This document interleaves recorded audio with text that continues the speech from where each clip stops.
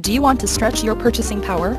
Well, take a look at this outstanding 2013 Ford C-Max Energi. This C-Max Energi would look so much better with you behind the wheel instead of sitting on our lot. And with climate control, automatic transmission, it's bound to sell fast.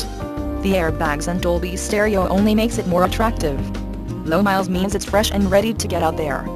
Come in today and take a look for yourself. Kayser Ford is the dealership for you. Conveniently located in Madison, Wisconsin off of Beltline Highway.